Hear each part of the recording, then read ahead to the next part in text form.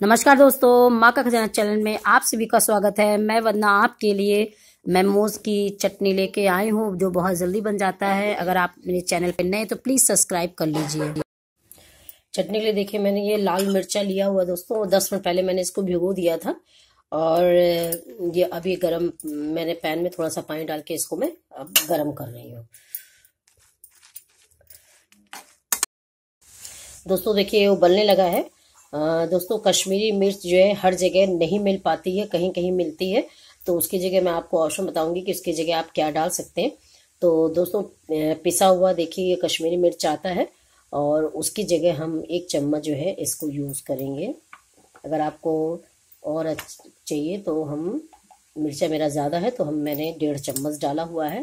इससे बहुत अच्छा कलर आता है।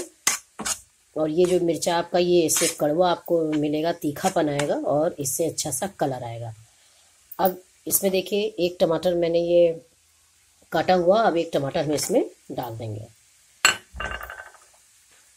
गैस को हम मीडियम कर लेंगे।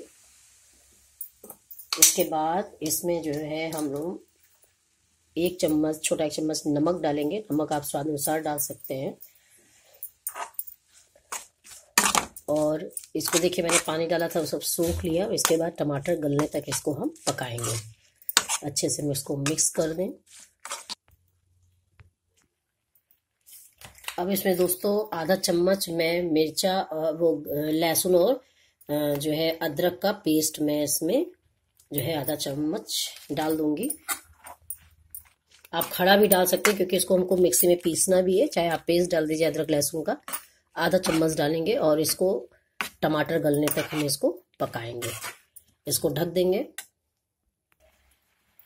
अब दोस्तों देखिए, टमाटर गल गया है, हम गैस को बुझा देंगे और बुझाने के बाद इसमें एक चम्मच जो है मैं सफ़ेद सिरका या वैगनर मैं डाल दूँगी इसमें।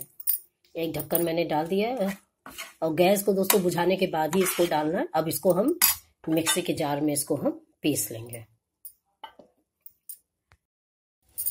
देखिए दोस्तों, चटनी पीस गई कितनी बढ़िया देखने में लग रही है और कलर भी बहुत रेड कलर में एकदम आया हुआ है। और पास से मैं दिखाती हूँ कि कितनी बढ़िया देखिए बन के ये आपके मेमोज की चटनी तैयार हो गई है। और इसको अब आप चाहे तो चाहे छान लीजिए, छन्नी में छान करके इसको निकाल लीजिए। और लेकिन दोस्तों, देखने में बहुत महीन हमारी पिस गई तो इसको छानने की ज़रूरत नहीं है।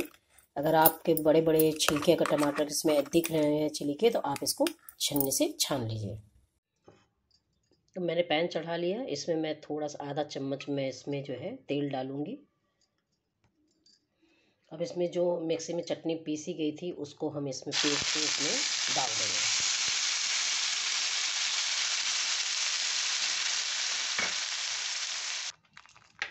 दोस्तों, इसको मैं जो कटोरी में लगा था, उसको मैंने हल्का सा पानी डाल करके इसको डाल दिया है। अब हम इसको गैस को हम तेज़ रखेंगे और इसको चला के हम इसको भूनेंगे।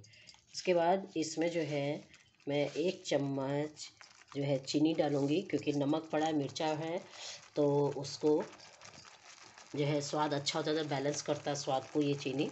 और इसमें मैं आधा चम्मच जो है सोया सास डालूँगी। और इन सबको मिक्स के अच्छे से हम इनको पका लेंगे।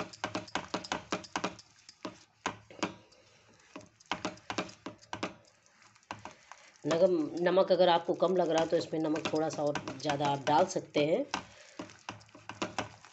इसको चला के अच्छे से हम इसको पकाएँगे, गाढ़ा होने तक।